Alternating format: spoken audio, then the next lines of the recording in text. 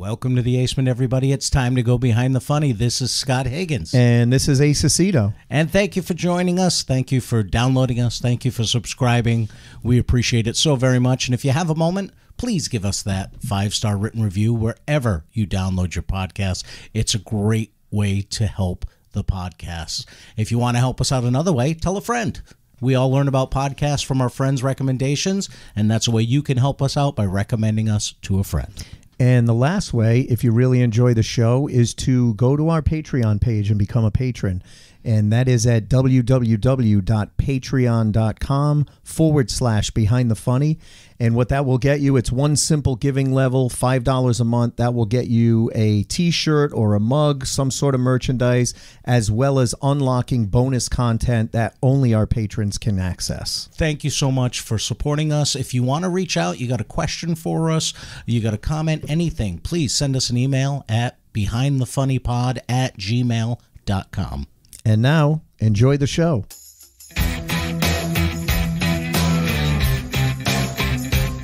Hop care- in hand be- for be Ace careful, he's- Aceto he- and, he's- and, and Scott Higgins, both of them coked up out of their minds.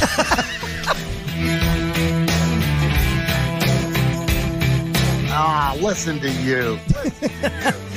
He's down in the basement. Oh, I love that.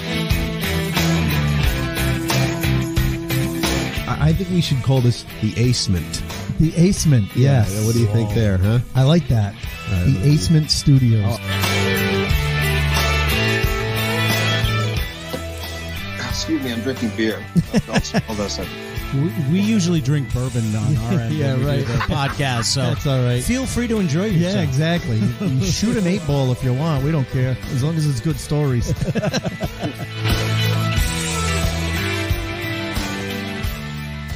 And thanks for joining us, guys. We are so excited. We got a great guest this week.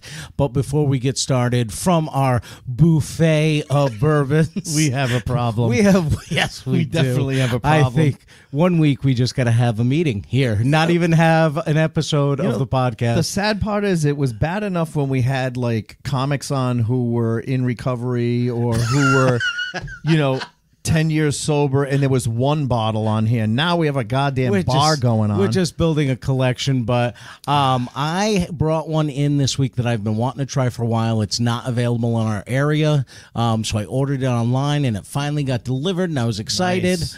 So I brought it in. It's called Low Gap. Uh, which is also Scott's nickname. Yes, actually, that was my high school nick- nickname, Low, Low Gap.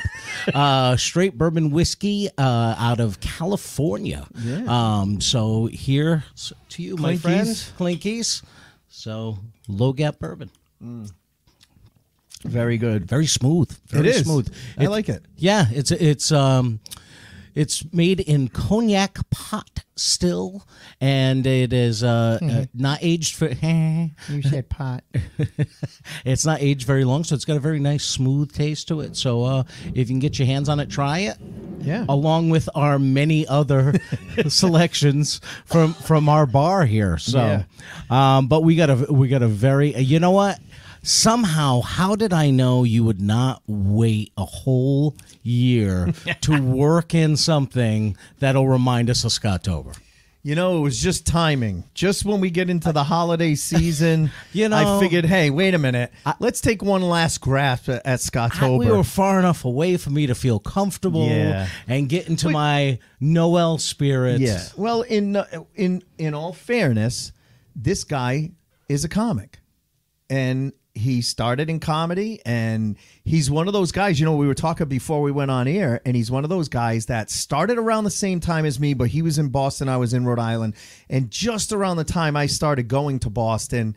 We never got to work with each other, but we saw each other at like Yeah. the Comedy Connection Christmas parties and stuff. It's so amazing to me the the stories from back in that time, how separate those two scenes really were. Right. And it's not like, you know, it's really, it's not as like, it's not as bad as that now. No, no. But um, but no, he was, and, and it was never like a, you know, Not a like rivalry thing. rivalry. It was just, two separate. separate. scenes. And uh, and so you know, by the time uh, I started going up there, he moved away, and we'll you know talk to him about his story.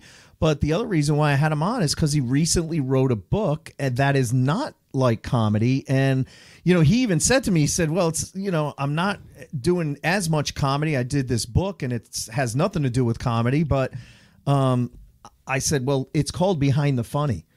And that's what we want to do is we want to learn about comics but about all aspects of their life about what else do they do besides comedy you know we all have other things that we do and that's one of the things that we bring to the stage is our background Right, right. and so uh, we're very excited to have uh, the very funny and very scary Oh, lovely. todd parker there he is Hey guys. hey thanks so much for being on man we really appreciate it Oh, thanks for having me. so uh so we're we're virtual now because you're no longer you started in the Boston area, right? Did you grow up in Boston? I grew up in Revere, Massachusetts. Okay. I grew up in the Revere of Rhode Island, which is North Providence. So very similar. I, I, thought, was- I thought the Revere of uh, Rhode Island was Cranston. Well, it's the Cranston, Johnston, North Providence triangle of Guidom. Guidotum. Guidodom. You, you, It's the Italian triumvirate. you've lived in Coventry too long. I know. You've gotten know, that out of been your so far system. away. I pronounce my R's and INGs Yes, yeah, you do. No, yeah, yeah. My, my R's might come out, they might not, because my family just left for Thanksgiving. So while they were here, I got my accent back. so you you grew up in Revere, and now where are you living now? I'm in Atlanta now. Oh wow! All right. yeah, Atlanta, Georgia. I uh, I started in Revere in 1988. I think you started in 89, right? 89, yeah, it was just a year after. Yeah, I started in a, a little place called uh, Michael's Seaside. It was a restaurant on Revere Beach. Oh wow. and I had just turned 21 and I was biking. I used to bike up and down the beach every night, you know, and I was passing this restaurant and I realized, wait, I'm 21. I can go in there and get a beer. And I thought, oh, that'd be cool.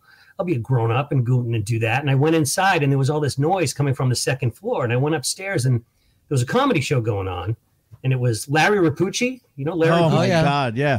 Yes, we have heard many stories about Larry Rapucci. legendary, legendary Boston scene comedian. Tom Tom Cotter told uh, a hilarious story One about of the him, but greatest we'll, stories We'll talk, ever. to, we'll talk about that after because you may have already heard it. So um, I had I'd actually been wanting to try stand up, and I called Nick's maybe three times and set up an open mic date, and I chickened out every time. And I went in, and as I walked up the stairs, Pooch was doing a show. There's maybe six people in the crowd. yeah. Sit at the bar, and I had to walk past him to get you know walk right by him. And as I walked by him, he went, "Hey, you comedian?" And I said, "No." And he went, "Then sit the fuck down." And I went and sat down. And at the end of the show, uh, I said, "Hey, man, I really like to try that." And he said, "Well, come back next Saturday night, and I'll, I'll give you five minutes." And I went, "Oh, cool." Oh, And that's wow. what happened. I went back the next week and uh, bombed my ass off, but I got one laugh. Loved it. That's all it takes is that one laugh, and then, Yeah. then you're hooked. Now, you said you'd been wanting to try it. Is this something like from the time you were a kid, or at some point someone said, "Oh, you're funny, you should try it"? What was that trigger that made you start thinking about trying stand up? Um, I knew that I was pretty funny, and I, I would always get laughs. You know, in big groups, I would always get a few laughs. Right. And I think, uh, like a lot of comics, watching comics on TV, Yeah. Yeah. I'm funnier than that dude. You know, like Yeah, especially at that time because in the late '80s, that's when you started seeing 15,000 comics on TV. It was, Yeah. you know, Evening at the Improv and comedy. The Comedy Channel had just launched and Right. you know was looking for talent. So, to your point, there were some good comics. There were some not so good comics. Yes, I said to your point. Uh, we have a little drinking game on here. Whenever I say to your point or he says 100%, we drink. So I don't mean to. It just happens. I'll All join right. you on that. Thank you.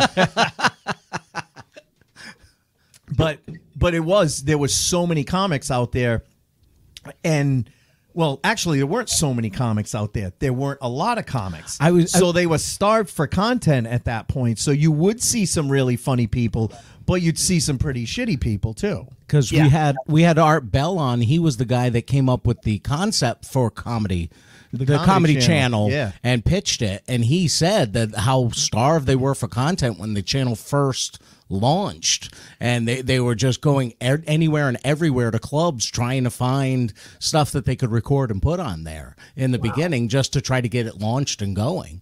Oh, you amazing. know. So, Yeah. So was that room that um, Michael Seaside was that Rapucci's room? Yeah, that was his room. He booked Okay. it every Saturday, and my first maybe six weeks was only doing that place. Okay. Yep. So by the time I started trying Nick's and stitches, I was just already kind of a little battle hardened. Like I, you know, Yeah. getting in front of more than six people, I was like, "Whoa, this is incredible!" Yeah, exactly. Well, and that's the we talked about it before. Like I started in 89, but I didn't start going up to Boston until 92 because my mentor down here was a guy named Charlie Hall and he said, "Listen, don't go up to Boston and suck. Suck down here. And then once you get good enough that you're getting good feedback, then go to Boston and do your 5 minutes." you I love Charlie Hall. Oh, yeah, so you know Charlie, yeah. Yeah. Yeah, Still Charlie's around. great. I know. I with- yeah, I see him on Facebook. He put some great artwork on there. Yeah, he actually did. Uh, we recently had an actual physical location about ten years ago. You remember Rockin' Joe Hebert? He was No. another Rhode Island guy. Did a lot of song parodies. Um, but he started the Rhode Island Comedy Hall of Fame, and we finally just after ten years found a home because Charlie made the joke when we indu- he was the first inductee. And when Charlie was inducted, he said, "Yeah, the Rhode Island Comedy Hall of Fame, not so much a hall as a website." You know. So we finally got an actual home uh, at a local comedy club, and uh, Charlie did caricatures of all of us that are in the hall, and it's it's Oh, pretty cool. awesome. Yeah, yeah. It kind of brings you back to the Periwinkles days when he did his, you know, the caricatures of of all the comics throughout New Yeah. England. Um, you know, that's how you knew you made it at Periwinkles if you got your picture up on the wall from a Charlie Hall drawing, you know, with a black marker. That's Kind of your wonderful. right rite of passage. Yeah, it was. I used to think about the same thing at Stitches. Like I, if I met somebody whose photo was on the wall, Yeah, like, yeah. Whoa. The first time the I met conne- Jackie Flynn, I was like, "Wow, you're you're famous." Yeah, yeah. You have your pictures on the wall. Yeah. I, I told him that recently. He thought it was the funniest thing in the world. Well, it was the same thing. Any club you went in, if you went up to the Portland, Maine Comedy Connection, there were only so many people that were on those walls. you City know? City Steam in Hartford was the same thing. The the big regular headliners they blew up their headshots like Yeah. posters and hung them in the place. And the first time I worked with one of those guys, I was like, "Holy shit! You're You're, on in the main room, the big poster." It's crazy what used to make you feel good. Yeah, Now, absolutely. now you're looking for 50 million likes on Facebook. Yeah, how how th- times have changed. so you started there, and then you mm. made your way to Nick's. And was it like open mic night at Nick's? Just oh yeah, absolutely. Yeah. It was open mic night. I think my first time Kevin Knox was hosting. fucking Oh. Kevin Knox. Oh, you How's your, guys. how's your cock? How's your cock, you young guys? I can't do it anymore. I can't do it. You guys are all over the place. You're young. You're virile. Sorry. we love Kevin Knox. We've oh. thought about doing an episode of just having like a two-hour episode where everyone comes on and just Tells tells, Kevin their favorite stories. Kevin stories. You know, Uh, he was the greatest guy ever. Yep. I know he- Absolutely. he Just uh, he was he was the mentor to everybody. Yes. yeah. Yep. Because he was positive. He was he was not threatened by someone being good in front of him or Right. after him. You know. There weren't very many cases where anybody could ever affect how he did anyway. Exactly. Exactly. But I remember Yeah. he would like pull me aside. I was so new, and he would pull me. Well, then when I was maybe like a a year in, maybe a year and a half in, I was getting into doing crowd work. I just loved doing crowd work, Yeah. and uh, and sometimes it went well, and sometimes it didn't. Yeah. But I used to get lost, and Noxie was when he pulled me aside. He goes, "Hey, look, you know, uh, I can't do the voice." Yeah. He's like, "Hey, look, uh, you want to do crowd work? That's fine, but you know, find a place to do it. Like, designate a place in your act to do it. Like, say, uh, Right. Minute ten, you're going to do it, but then know where you're going to come out. Be ready. Like, have something waiting to come out to, to where to land. Right, right. And and that like, oh, that's that's great advice. Yeah. Yeah, that's that's Really great advice appreciate because never you never feel lost then because you've you've assigned this section where you know, okay, if it's going good, great. If it's not going good, I know I'm going to come back over here and end the show. That- mm-hmm. and th- that was the amazing talent that Noxie had. Is my my first time on stage in Boston was Noxie's Monday night at, at the Connection, Faneuil mm-hmm. Hall. And he, every single person that went on stage, he said something to after their set. And, you know, a lot of people, it was their first night or even just their second night, and they did not do well. But he mm-hmm. would find something positive to point out in their act, like that joke you did about this or that thing you Yeah. did with this. He would find that one thing and go, "Oh, keep working on that," or "You should do this," and and kind of just bring it around full circle for them and get them excited and and keep them positive. He always was so good at doing that. And not everyone did that. No. not every No. host headliner did No, that did for not. you. no, very If less, anything- less did than didn't. Yeah, if anything, some of them you came off stage and they were like, "You went 12 seconds over, asshole. Yeah, Come back in four weeks now." Or, or the know? ones that come up to you when you're hosting, going, "Is he going over?" And the guy just started. Like a minute yeah, ago. exactly. yeah. No, Noxie always had a kind word, and Yeah, yeah. you know, So who were who were some of your classmates, as we say? Like who you you mentioned before we went on, Robbie Prince, who's a, a guy who's been brought up on this podcast a bunch of times, and I want to get him on. But uh, who else Hey, was in that Prince, class? Uh, my class was Robbie Prince, Joe Rogan, Never Greg heard of him. Simmons, No, no, uh, Doesn't a a guy named Tommy Dunham. Oh yeah, I remember Tommy. Um, I, I got to work Jim with Tommy Loretta. many, many times. Who? Jim Lauletta. Jim. Yep, we've had Jim on. Um, Cotter, Cotter, I think was started just before me, but he still was part of our group. Yeah. Yep. And uh, What about Ducharme? Al Ducharme. Duchamp too. Yeah, I always, I always thought he started a little before me because he was so Yeah. seasoned. I, yeah, I think him and Cotter started around the same time. And that's the same thing. Like Cotter, Fitzsimmons, Rogan, all those same guys all used to come down to Periwinkles on Wednesdays and Thursdays too. So I remember see, you know, I re- that was like, you know, they were the upperclassmen. They were the guys that we were like, wow, you moved up from night to the free showcase night. you still don't get paid, but it's a showcase. Right. Yeah. Last Saturday, you got twenty five dollars Yeah, to do a spot. yeah. Oh my god! or we had uh, a couple of months ago, we had Tommy Morin on. Do you remember Cato and Moran? Oh yeah, of course.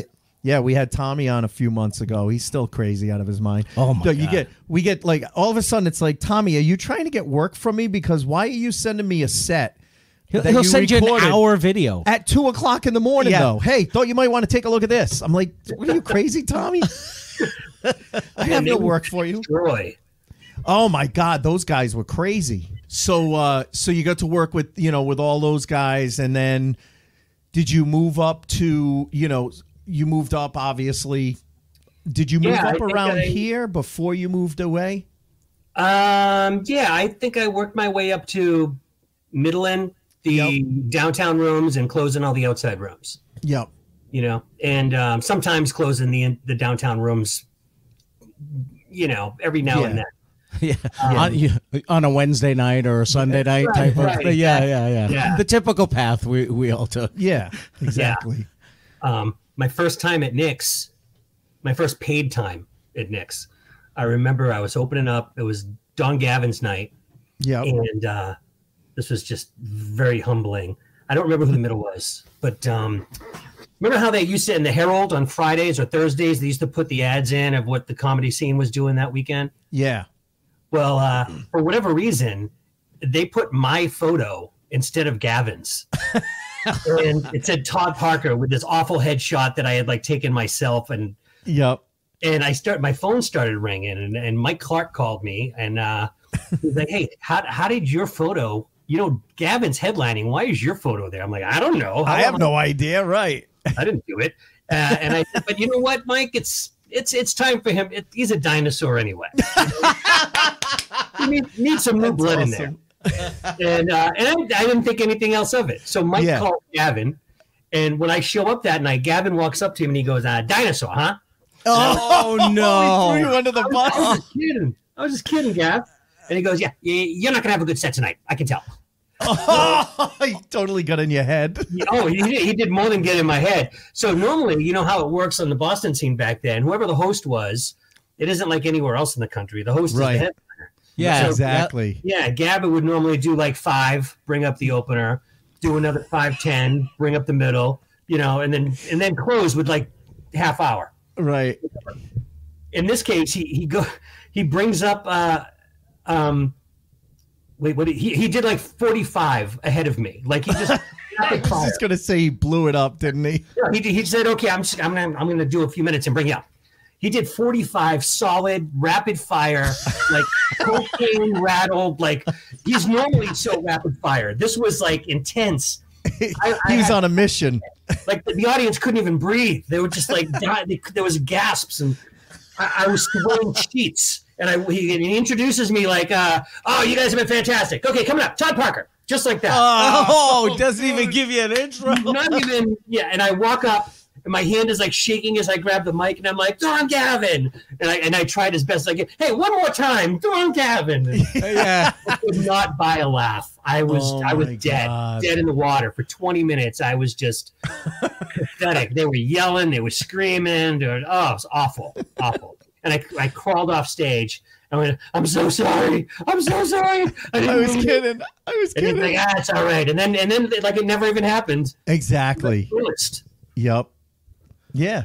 Well, who was it that was just on not long ago? They said all of a sudden they like Lenny, Gavin, everyone like just disappeared from the room and left them on stage. And when he went outside, they And were all sitting in the car Yeah, they were sitting in the car and they said, "How'd it go, kid? You know, come oh, on, let's it, go." Was it Harrison? Oh, it was Harrison Stebbins. Harrison Stebbins. Yeah, yeah, yeah. he said that was his initiation. It's so funny. They, Oh they blew God. it up, brought him up on stage, and let him try to weasel his way through it. And then when he walked outside, they went, "Hey, kid, how'd it go?" They're all sitting out in the car outside. But that that's kind of how you got initiated up in Boston. That's Yeah. that's how they they they. That's set probably up. why Charlie Hall told me to stay the fucking Providence until I got halfway Ah, decent. You know, you'll you learn quick. They, Yeah. You know, they it can kind be of. brutal. Yannetti, Oh, Yannetti yeah. Once you know Joe Yannetti, of course. yeah. Oh, yeah. Oh yeah. So he, uh, my first road gig was opening up for him at uh, John Martin's Manor in Maine. Yep. in Waterville, Maine. It was Yep. a Mike Clark gig, and uh, I forgot my watch, and I only had like 15 at the time anyway. So I just did what I had, and uh, before I went up, he said, "Hey, uh, go have fun, whatever." I did my time. I came as I'm coming off stage. I introduce him. He whispers in my ear, "You did seven fucking minutes," and then keeps walking. Oh, like, oh shit! And the whole time he's up there, I'm just like, is my career over? Like, is he going Right. to Of course. one at the time? And he comes off stage, and I said, "Hey man, I'm really sorry. I'm really sorry." He's like, "About what?" I go, "You said I did seven minutes." He goes, "Oh, I'm just fucking with you." I I'm like, could see "Oh." you, Nettie, doing that. Yeah, you did your 15 and he's fucking with you. Now you, you're Little sitting baller. through his whole 45 minutes going, oh my God, I'm never going to get a gig Yeah. again with this guy. Oh, Yeah, that's panic. funny. Yeah. Yeah, I remember John Martin's Manor because I did uh, with Eddie Regine. He Oh, had me open okay. up for him up there. And John Martin was, you know, Andrea Martin from SCTV? Yeah, That's, yeah. that's Yeah. her brother. That's No. her brother. Yeah. Really? Yep. Oh, I'd assume John Martin was like Yeah. some colonial. colonial. No, well, there was a guy up in that area, up in Waterville, Maine, that booked some comedy, and his name was John Martin. So I'm almost positive that's got to be the same guy. It was Andrea Martin's brother. Yeah, he was a nice guy, but uh, but yeah, it's so funny, and you know. You don't hear of those road. I mean, we still get road gigs, Not little like that, bit, but though. not like not that. like that. But again, that was back in the boom when, you know, everyone had the downtown clubs and then, you know, Mike Clark alone probably had 30 friggin' clubs, you know, out, Yeah. in, out in the outskirts. And then you had Billy Downs and you had Paul Barkley Well- and you had, you know, like in the documentary when stand up stood out they said people would throw up a placard out front that said comedy now they're a comedy club Exactly. you know every much. every bar around every place had comedy at least one night a week Yeah. and like they said you could literally work a paid gig seven nights a week and so, and many nights you're working three or four gigs in one night you know, mm-hmm. back in the day. Now you mentioned Nick's. We've heard a lot of stories about Nick's in certain time frames. Was the uh, I think Harrison is the one that told us that he said there were times that was like being in the Thunderdome. You Yeah, were that was a fighting for your room. life because that was a tough, tough yeah. room at times. And I've I've only done Nick's. Obviously, I started in in 2002, so I started much much later than you guys. Um, you know, and I did Nick's a few times, but it was just a regular comedy room. You know, at this point. Right. So, did you experience any of that when you were at Nick's? Those really Oh, tough yeah. crowds and Oh, absolutely. Yeah, they they would let you know instantly if Yep. they, if you were taking too long to get to the punch. And I, I was there that, that big night um, when Gavin got attacked. Oh, like, like physically attacked. Oh, you don't know about this? No, I no, never heard about Never this heard one. the story. Uh, during my um, I was doing open mics. It was probably 1989. I'm guessing. Yeah, it had to be 1989 or 19 late 1988. And it was an open mic, and Gav came in just to you know do some time, and uh, he was going back and forth. There was some guy in the crowd from Charlestown, some big group from Charlestown who were giving him a hard time, and Gav just destroyed him, just made him into total asshole. You know. And the last thing Gav said was, uh, "Hey, so you're you're a movie star? I didn't know you were a movie star. Hey, uh, have you guys seen Rain Man? You know that was that was big at the time. Rain Man was out, Right. and this guy was a huge guy, and he stood up and he just ran. He tackled Gav, and uh, oh yeah, and chairs started flying. It was like the Wild West. I mean, the whole place turned into a rumble. I mean, it, there was blood everywhere. It was awful.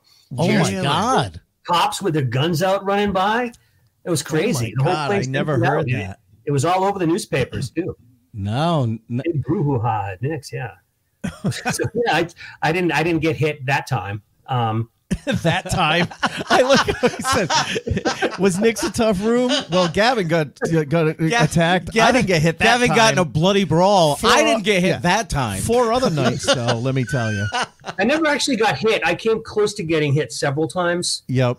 Um, there was a time in Vermont, believe it or not, I got uh, I was doing a Vermont of all places. Yeah, it was a place called Christopher's in Vermont. Yep. And I was doing my thing, and there was this shithead guy in the front row, just drunk as hell, and going back and forth to the point where they finally kick him out, and because he just was slurring all over the place. And the end of the show, me and some waitresses and the bouncer and some other the other comics we, we go outside, we can find someplace to eat.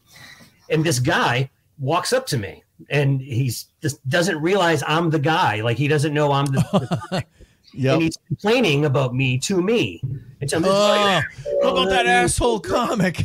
Yeah, and he's he's going up, and, and then he realizes he goes, "Wait, you- you're you're you're him, you're him," and I'm like, "Yeah, man, I'm him." And he pulls his hand back to punch me, and the bouncer's right there. The bouncer grabbed him, threw him down, and uh, Scott, you don't like blood, right? So should I be careful with this? I don't want to. Nah, Yeah. Right, attached to the club there was a, there was an upstairs and there were these stone stone steps going up with like space between and he threw the guy down and he got his head wedged in between the steps and he started kicking the guy's head further between the steps and i was like holy shit He- Oh we were my all like okay okay well, he's done he's done that was Oh probably my- the closest i came to getting hit but luckily never hit Wow. No, I, Yeah, I'm I'm rough. okay with blood. It's floating apparitions and, and Yeah, he's spirits not- and it's ghosts, ghosts and that stuff I would like rather that. That avoid he's, uh, if possible. yeah. I've only had one time, and I hadn't even engaged the crowd or anything yet. I, I walked up on stage, and I, I literally said um, an opening line to my first joke. I said, "You ever have your kids walk in on you when you're having sex?" And this drunk guy stands up at the front table and he goes, "Well, "Hey, what if that was my kid that walked in on you?" And I'm like, the whole crowd is like, "What?" like made no sense. And I just said, "Well, don't let them sleep. Let your kid sleep over my house." and he starts running to to charge the stage, but he's so drunk he can't even run. He's like falling over himself and everything like this. And I, I just look at the crowd. I go, "This might take a while."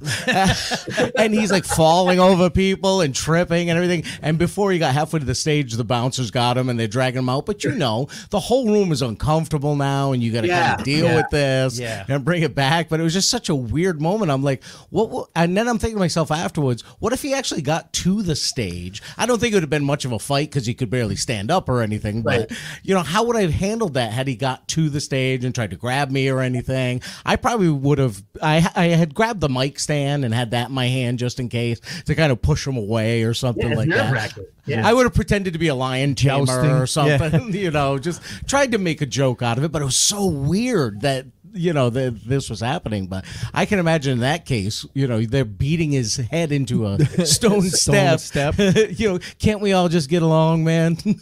But remember those?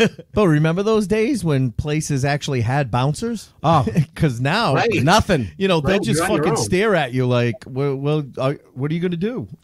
Oh, I, I've had places now tell you, yeah, if if a heckler gets out of hand, just ignore them until they stop. No, why don't you police the room and Yeah, throw them out? Oh yeah, Oh, yeah. Oh, we've had man- managers tell us, yeah, if they get out of hand, just ignore them until it stops. He's not a three year old throwing a fit in a toy store. You know what I mean? This could get out of hand. Yeah. How about you do your job and police the room and get rid of them if it's Right. that bad? Yeah, it's ridiculous. So, sorry. I No, that's okay. to- I, I, wanna- was venting. Yeah, I noticed. I noticed. I was venting. I want to kind of get you out of your headspace there. Uh, no. So then you said in '94 you moved out of Boston. Now that was was that before like the mass exodus of the Bill Burrs and the and the Patrice O'Neills and and you know uh, uh, Dane No. Cook. No, it was Dane um, was after 94. Was it? Yeah. Yeah, well, I was one of the first. The only one who went before me was uh, Patty Ross. Oh, okay. Yep. I, don't, I shouldn't say one of the first. I mean, Lenny was out there ten years before. Oh that. yeah, Lenny was out there. Billy Martin had gone out there uh, by then, right? So, yeah. So it was 90, 94. I went out and um, what made just- you do it? Like, you- you wanted to make Yeah. the big move to get a because that's sitcom, that's or like six years in. So you know Yeah. that's it's a pretty Well, I quick was- move. I was doing well. I, Yep. you know, stopped bombing. I stopped having bad sets. I was Uh-huh. doing great all the time, and I thought, you know, I was looking at my date book, and it was just the same gigs over and over again. Yeah, yeah, yeah, Nick, Stitches, Comedy Connection, Pure Platinum, you know, Right. Charlie Horse, all these over, Yeah. over and over and over again. I'm like, I, I don't want to spend the rest of my life doing all these just same thing. I mean, why don't I take a shot? And Those so last I- two sounded like strip clubs, by the way. Pure Platinum and Charlie Horse. Yeah. Charlie Just Horse. saying. Yeah, but Charlie Horse was that the Chance Langton room in Bridgewater or something? Or I think there are a few. I think I think it was in Kingston. Oh, okay. Shut up. Not sure. I figured, why not take a shot while I'm young? You know. Yeah, Yeah, yeah. And everybody was getting sitcom deals at that time. right. That was like the prime time of of you know people going out Yeah. doing their act and then going, yeah, we could build a show around that. Yeah. So Right. I packed up my Nissan Pulsar and I drove out there Wow, and uh, had to start all over because I didn't have any representation or anything. So I had to stand in line at the Laugh Factory. And that was really, really kind of degrading. You know, those people show up at like seven in the morning Yeah. and they take the first 20 and uh, i did that and you get three minutes and i went on and uh, and Three really pissed. minutes. three minutes and i was pissed because the guy who uh, you know in the club jamie masada Yeah, you know i was looking at this as an audition for him and he wasn't even there Right. i was so pissed i just ranted the whole time i was up there but it ended up it killed Yep. and there was a guy in the audience who was with a management company and they called me the next day and they wanted to uh, represent me so i kind of lucked out in that sense mm-hmm. and i became a regular at the factory really quickly Wow. um, so that was great and then you know it was other but it was really hard getting used to no stage time because even being in at a club you know 20 minutes here and there is nothing like what i was used to of going Right. every- Right. multiple times a night right. so it was really like starting all over again And and after doing, you know, cl- like you said, you were closing the outskirts rooms, closing some of the Boston downtown rooms. It's a it's a tough adjustment when all of a sudden someone goes, "Yeah, you got 3 to 5 minutes." And Oh. you're like, "I don't even know what the fuck to do for 3 I- to 5 minutes. I'm used to doing 45." And that's why I said know? when you said three minutes, I had to repeat it because I'm thinking Yeah, to what myself, one joke do how I do you do? get up there, establish yourself to the crowd, and make them laugh in a three minute time period? It's a You know, nightmare. it takes it takes 10 minutes to say hello Yeah, Right. exactly, exactly. So uh, to to condense all this into a three minute version, I guess it's no different than comics nowadays that go on America's Got Talent, and you 90 get ninety seconds. seconds for your first audition, and Yeah. you're just thinking, how many laughs can I squeeze into this ninety seconds? Right. I, I guess it's the same concept. So, wa- because we never worked together, was your act about like your life? Was it sitcom material? Like, No. was there no? no, no, I'm I'm a dick joke guy. Always been a dick joke guy. Yeah. Robbie Robbie always busts my balls. He goes, "Can you write one bit without a blowjob in it? Can you just do one?" like, no matter what the topic is, I can find a way to get a blowjob into that joke. it's a curse. I'm not happy about it, you know, especially Well- after I had kids. right. Well, with all due re- and with all due respect too, your first gig was with Larry Rapucci. That was your mentor. Hello. Hello. Come on. That's so funny. So No, how I- long? I'm sorry. Go ahead. No, no, no. Go ahead. I say I, I try to clean it up. You know? Yeah. I, I try to come up with my TV time and all that. Um, but it just, eh, you know, I, and I got I got a bunch of auditions and I, I landed a few things. Um, my act was mostly about, you know, trying to score girls. Yeah. I was more of a storyteller than a Mhm. than a bit writer. Yeah. Right. Yep. Um, I got some. I got some stuff. I got. Uh, I lucked into um, some warm up work. I Yep. so I, was doing- I did warm up for the MTV show Singled Out for a couple seasons, Yep. and I did Married with Children, and Oh, cool. um, yeah, that was really cool. And that that uh, that led into like a. I got a guest spot. They put me on camera for one episode, so that Yep. was just amazing.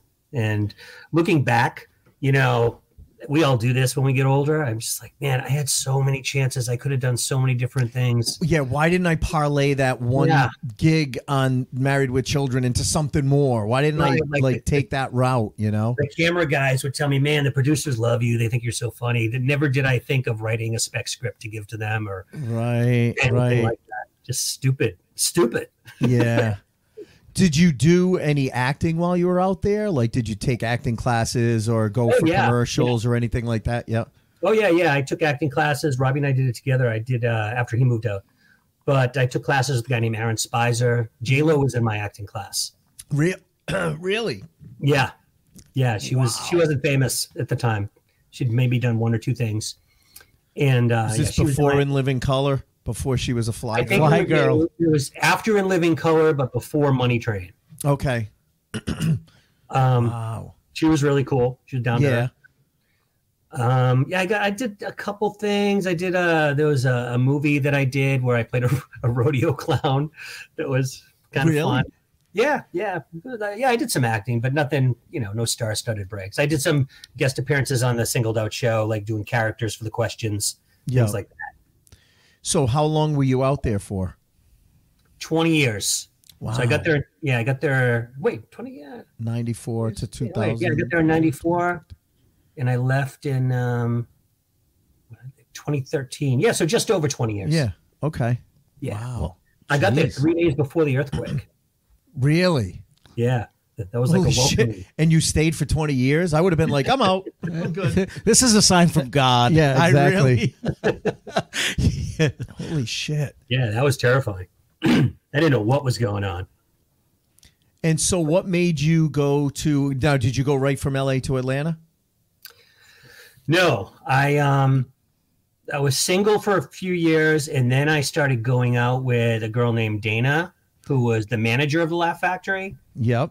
And um, because her, the Jamie, the owner, started managing me, Uh-huh. and uh, he took me on as a client, and he would like send me out on stuff and have people come, and Mhm. so Dana and I, we we got close, and we were buddies for a long time, and then we started to go, we hooked up, and we started going out, Yeah. and it was really funny because she hates when I tell this story, but before before I moved out, a year before I moved out. My sister saw a misprint in in the paper where I think Delta or one of the airlines had a round trip from Boston to LA for sixty bucks. Yeah, and uh, she bought a couple tickets, so we went out. And uh, while I was there, I went to all the clubs to check out the scene because I was thinking about going. And when we went to the Laugh Factory, uh, we walked in and Dana was hosting and managing, and uh, she said, "Oh, come on in." I, I, I talked my way and I said, "I didn't want to buy a ticket." I said, "Hey, I'm a comic from Boston and thinking about moving here. We just want to check it out." She said, "Oh yeah, come on in, y'all." She's a Southern girl from Atlanta, and Yep. he went to see that. I went, can you not sit us up front because I'm probably not going to stay. I don't want to interrupt the show. And she's like, oh, okay. So I liked it. And as we were leaving, she said, um, she goes, you know, you don't seem like you're from Boston. I thought everybody from Boston was a jerk. And I said, what are you basing that on? That's nice not pickup line. true." And she goes, well, you know what? When here's my number. When you get ready to move out, call me, and uh, maybe I can set up a showcase for you, help you out. I said, oh my god, that would be so great. And year goes by, six months goes by, and I'm putting the plan into motion. And I call her, and she gets on the phone. She goes, Hello, this is Dana. And I said, Hey, Dana, this is uh, Todd Parker. I met you about six months ago. I was out there with my sister. And she's like, uh, Yeah, yeah, and and I was like, and I. Uh, She was in manager mode. She had no time for your bullshit. full manager mode, like sitting Yeah. on like a hundred tapes from all over the country. Oh yeah, exactly. And uh, The fuck do I you was want? right? Yeah. And I said, "You, uh, I'm from Boston. You made a joke about you thought everybody from Boston was a jerk." And she goes, uh, now, look, look, I'm sorry, I don't remember you. I don't have time to talk right now." And I go, "Well, you said." She goes, "Look, just just send me a tape, okay? Thanks, bye." Oh, I was like, oh wow, damn. So then I you're move like out I'm gonna get back at her. I'm gonna marry that bitch. I'm gonna ruin her I'm gonna life. ruin her life. He is still paying for it. I didn't. I didn't tell her. I didn't remind her about it. What after I got there, there was Yeah. no. You look familiar. None of that stuff. And then after we started going out, I still never said anything. And it wasn't until we got more serious that I reminded her oh. at an opportune time. And she was like, what, "Wait, what?" And I said, "Uh huh. You still want that tape?" And she's like. And uh, and we she she laughed when she was very apologetic. Oh my god, I can't believe I did that. I'm so sorry. And I was like, ah, don't worry about it. She was under the stress of being a manager. I mean, that's Yeah. again, I get it. It's so funny because They all do it. well, it, even just booking comedy, like we've talked Oh. about it before. It's like I always used to be like, God, why are bookers such assholes? I and then all of a sudden you start booking. Like I only book one show. It's literally one show that I'll do like three or four times a year. And I mm-hmm. I just posted something. I did. I, I hadn't done it for about four years. I wanted to bring it back. I did it in October. And I just posted the other day. I said, "Hey, want to bring Ace Aceto's Royal Flush Show back? Thinking about doing another one. Who's in? Meaning audience members. Like, who the fuck wants to come to this show if I do it?" Right. Every goddamn comic in New England was like, "I'm in, I'm in, Yeah. I'm in." It's like, oh my god. No wonder fucking bookers hate everyone. I get it now. Yeah, yeah. Well, it's it's the old joke, and and we do it all the time on here when someone's telling us about you know the shittiest gig. the shitty gig or where they bombed at, and we go, "Who books that?" Yeah, yeah, you know, Because we don't care. We just want we just want to do it. right. You know, but uh, you know, I ha- I have a show that I book three or four times a year at this theater, and the last one that I had, I, I do four comics on it, four headliners, mm-hmm. and I had one spot that the first person I had, like a month before the show, I'm like, all right, everybody, you know, send me your headshots for the poster and everything, and this person wasn't responding, mm-hmm. and I finally tracked them down, and they were like, oh yeah, I thought I'd contact you, I can't do it. Um, I got an emergency. I can't do it. And I'm like, ah, well, shit happens. I understand. So I reach out to another person. They're like, yeah, I, I uh, you know, I'd love to do it. They send me the headshot, stuff like that. A week later, they reach out. Yeah, I'm sorry. I didn't realize. Um, I actually double booked that night. I can't do it. Dude. Did- five people I went through till I locked somebody in a week and a half before the show. I booked this thing these six, are headliners. seven, eight months in advance. Right. And these are all headliners. And I was like, I said to him, I'm done. I'm going to turn this over to somebody else. I've been doing it for eight years now. Mm-hmm. I've had it with these people. you know, I, I just, you know what it is. I think because you know it's funny because some guys used to make fun of me for having a day job. I worked, you know, I got in with Yeah. a pharmaceutical company in '97, and I remember, I don't know, you were probably gone by then. The Grill '93 in Andover was Oh, that running? place, Yeah. So uh, Ronnie, the the manager there, used to bust my balls and say, "Yeah, well, Ace, you're not a real comic because you you know you you have a day job." And I'm like, "Yeah, I'm also responsible. I'm not gonna I'm not gonna flake out on a gig or I'm not gonna double book. 33 years, I have never double booked myself on a night ever." I don't think But I ever I've have had these fucking guys that are in for like six years who are like, "Oh, I totally forgot I was doing this other gig," and I know for a fact they're making less money at the other gig. I, you know what? Right. Honestly, Kills me. Kills I, me. I truly, be- not to get off on a tangent, I know which we somehow, do. somehow this is becoming Todd. If you want to sit there with a with a notepad and and d- take our therapy session down, I feel don't. Free. I don't believe most of the time these people have double booked. I think they come. There's another gig that was offered, and they would want to do that gig, and they, they don't want to just say, "Hey, listen, I want to go do this other gig." Right. They use that as the bullshit excuse to get out of mhm. yours, so they could go do that one. Probably. Although the accidents, I've never double booked myself, Yeah. but I can E- exact- see, see how it could happen. You know. But uh, I, I've never, I've never done it myself. I mean, you guys both started, you know, before all the cell phone shit and everything like I do. fucking And you hand wrote in a planner, Yeah. just like I did when let me I started, and I didn't double book then, and I still handwrite it in in something now, and I still don't double book. So Right. I'm sorry, I have trouble with that one too. I'm like Ace. That that's ah, I have And there's a couple of people that have done it to both of us on separate occasions. And we're like comparing notes, and I'm like, yeah, th- this is when they did it to me. Oh, yeah, that's when they I did got it one to guy me. that did it to me twice. Yeah. Oh, see, there's no, there's no reason for that. I mean, Exactly. if you do it multiple times, then that's bullshit. Yeah. And that's Yeah, the thing. exactly. And one of the guys has done it to me twice and him twice. And I'm like, nice guy. I like him. I think he's funny, but I'll never book him. I'll be on a show with him and I'll I'll be cordial Right. and nice, but I'll never book him again. I need someone I could depend on. And I'm not you know? talking about a. I had a situation where I had someone booked on the show, and two weeks before the show, they contacted me. They said, "Listen, um, I got to go out to the West Coast. I just got offered this writing gig."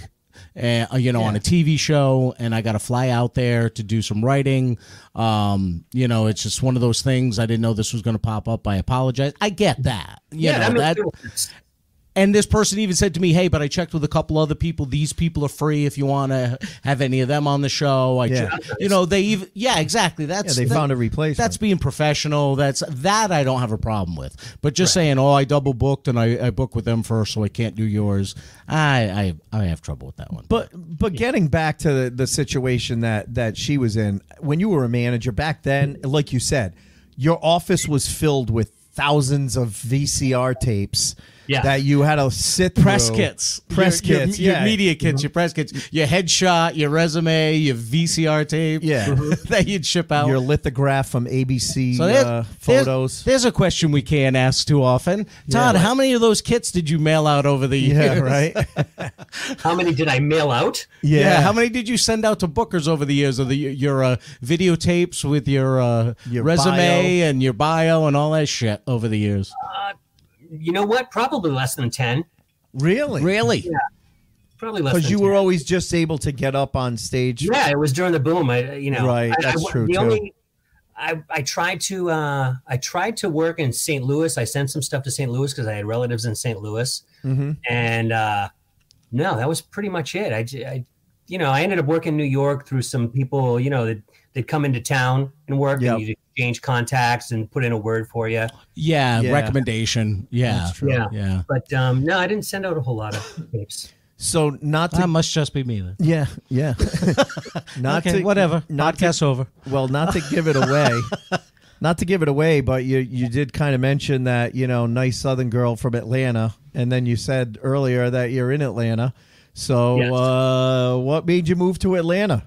Well, we, we got serious and, um, you know, I just got to a point where, well, we were getting married and I had to decide whether or not I wanted, because I knew a lot of these, you know, I'm not knocking anybody, but, you know, we all meet these old comics who that's all they do. You know, they never got married. Mm-hmm. No. They're just old now and they're like in their 70s. And, and there are plenty, there are also guys like that who are happy as clams Right. and look at it. But I, I always wanted to have a family, and I didn't see how I could do that Out doing there. what I was doing. Right. So I just, I made a conscious decision, like you know what, I'm gonna uh, I'm gonna try and I'm gonna get a day job Mhm. and s- s- try that, and then do comedy on the side. Yep. So I I did. I got a job teaching art Okay. at a school in LA, and I just I still did the uh, you know the occasional uh, audition, and I still work now and then, but it got more and more frequent, Mhm. less less frequent. I'm sorry, and then I had kids, and that made it you know That much changes. Yeah. and we would come she was from atlanta so i'd go back to atlanta her a few times and then when we had kids she had a bunch of relatives back here and it was just really wonderful watching our kids play with all the nieces and nephews I mean, it's just- yeah. yeah it was just unbelievable. It was just like wow we can't do that in la like in la you know we had plenty of friends but no family. Right. we just said you know what? Let's uh, after 10 years or so we just said let's let's do it. Let's just move to atlanta. And Yeah. everything's so cheap here compared to la i mean Oh, compared to LA, yeah. house we sold Well- in LA was and time- it, it- and it had to be easier for you too being from Boston, you probably have family up in. Do you still have family up in Boston? Up I do. My brother's in Boston. My dad and my sister are in Florida. So, Okay. yeah. So now at least you're all on the East Coast, right? Yeah, this is the meeting point. Usually they come here and we have a fun time. Yeah. And I still, you know, for a long time, I would I would make sure at least twice a year I'd go back and play Boston. You know, Yeah. do Kowloon, Yeah. that kind of thing. That's awesome. Yeah. That's so cool. As uh, the ki- Hey, give every time someone mentions a Kowloon, I just think of Frank Santorelli when he he goes the Chinese ski chalet. Up on the hill. What's wrong with you people? What's wrong with you people? I'm staying in the motel next door. They have Free HBO phone calls from your room. from your room. Frank's hilarious. Oh my Oh, god. love Frank. Well, I don't know if you listened to our opening montage, but he's the one that says, "Hey, how about a hand for Ace Aceto and Scott Higgins?" Both of them coked up out of their minds. in the middle, literally, we were in the middle of talking to him on the podcast like three years ago, four years ago, and that he just came out with that, and we're like, "That's gold. We're, we're saving that clip." Frank. So now, uh, so you've been down it down there now almost ten years, right? Twenty thirteen yeah, yeah. and and you've been teaching art. You still Oh, doing no, no, not, comedy? any, not anymore. I, I'm sorry. Oh, no. Oh, I didn't even get to the. oh, I skipped ahead. No, go ahead. I, no, I, I blew right past it. I'm sorry. So I was teaching art for like four years or so. Mhm. And once the kids were born, I've always been involved with cameras. I've always had cameras, video cameras, cameras. I just love cameras. Mhm. And um, I used to make little movies, and I just always loved it. And when my kids were born, I was I used to make these little videos of them. And the, the school that I taught at was a Jewish day school Mhm. and they you know i don't know if either of you have ever been to a bar mitzvah Yep. I've So- never been, but I know how I've been, they yeah, work. been to several. so at these bar mitzvahs they uh they play a video montage like a retrospective of the kid's life up until age 12 basically Mhm. so i was working on a video of my daughter in the classroom in between classes you know i was like the cool art teacher like in between classes kids would come and hang out and hang out with you. and Yep. me getting arrested i can say that you know back then Yeah. and um, one of them said, "Oh, you should do my brother's montage." And I was, I said, "What's that?" And they explained it to me, and I said, "Oh yeah, I could do that." So I did one for that kid's party, and that led off to a bunch of referrals. And the, the school was kind of a high end school, like Beverly Yeah. Hills Hotel, Yep. private school. And um, before I knew it, I, I didn't need the art teacher job because I was just selling these videos. Wow. And I just, yeah, I was doing that for a living. Then I was doing okay, and Video production. Yeah. Yeah, 'cause so- Specific that specific niche though, just doing all those montages. or started- did it it, branch yeah, out? yeah. it started with that and then i branched into doing corporate stuff here and there but um, i was able to work my other um, loves into it like I, I wasn't just doing montages that were you know pictures and music Mhm. i was doing you know i was filming comedy segments with the kids i was writing scripts and Right. doing like movie spoofs and TV spoofs and because I had I could tell what was funny and what wasn't funny like most Right, of these yeah. were really funny so like when they were playing you know normally when a montage plays I don't mean to toot my own horn but you know No. there's like some laughs here and there oh there's the kid in an early Halloween costume ah you know what right. I had like written bits that these kids were acting out and so I was yeah, it was like watching a show for like 12 minutes you put in Right. actual production value Yeah. into the video. right. yeah and then the more i did it the more i just kept upping my game and learning more and you know improving my equipment improving my style and then i started doing that with some businesses as well like using that as, as a marketing tool like Mhm. making videos that were funny and not just you know where you have this sale next week that is you know Right. fun stuff. So when we moved, I was able to do that wherever we were. Like I had to start all over again, building up my clientele in Atlanta, but I did. Mhm. And um, yeah, that's what I'm still doing now. I make these videos for all kinds of different purposes. Wow, that's awesome. Mm. That- I mean, it's awesome that you get to do what you're passionate about, first of all, but it's also awesome that you've gotten to do a bunch of different things that are your passion. And it's funny because people are always asking me, like, how do you, when do you sleep? You know, we do the podcast, I do comedy, I work for a medical company. Uh, you know, uh, I just wrote a book, a kid's book we were talking about earlier. I'm like, you know what? I don't want to die and regret that I never tried these things. I want I want to be a master of you know a, a jack of all trades, master of none. I want to be able to say I've done all these little different things. So it's great when you, especially when you're an artist, when you have this artistic thing in you. Hmm. You want to express yourself. And you don't want most artists don't just do one thing. They want to do multiple things, right? Yeah. You want to express art in different ways. My 19-year-old is very artistic has taken a couple of photography classes. My ex and I bought her a glass blowing class last year for Christmas. She loved it.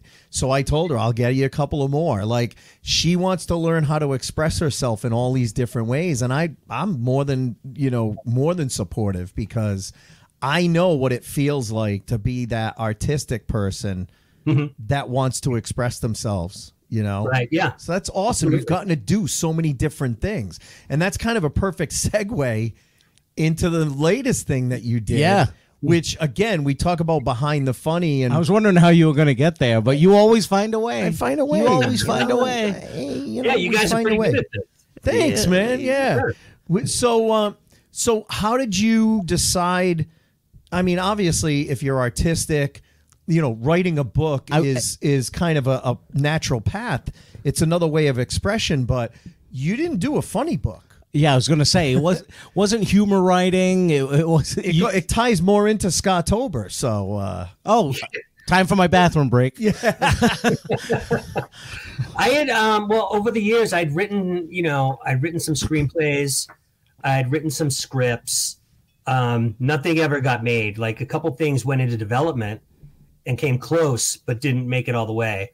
yeah, And uh, I just I just loved the whole process of writing. I love creating characters on the page. I loved all that stuff, and uh, I got this idea for this story. Um, my kids actually they were real little at the time. We were walking down the street and and we were planning on going to the zoo. And my son was excited to see the werewolves at the zoo because I'm a, I'm a huge horror fan. I've Yep. always been a horror fan. I grew up on horror movies and creature double feature and comic books and all that stuff. I just love it. And um, so I was that dad who would pass all that stuff on to my kids and teach them all the stuff I shouldn't have taught them. at that age. So my son fully expected to see werewolves at the zoo, and I had to let him down and tell him, no, that's not going to. He goes, well, th- why not? There should be a zoo with werewolves. And it just stuck in my head the idea of a zoo with. I'm I'm just know. looking up the number to DCF in Atlanta. Give me a second. Let him tell his story. it's fine. It's fine. It's true. No, I'm so kidding. I, I played around with the idea a little. At first, I started to write it as a screenplay. Mhm. and I found I didn't, you know, screenplays are a real tough nut. Like you, there's not a lot of room for prose. You know, it's mostly just walks into the room, sees this person, you know, Right. laugh, doesn't laugh. I wanted to really put some descriptions in there, and Mhm. I started writing it as a book years ago. Like ten years ago, I started it, and I would walk away from it. I'd write like 20 pages and walk away, and then walk back to it and redo those 20 pages. And I must have done that countless times, just redoing it, the first 20 pages over and over again.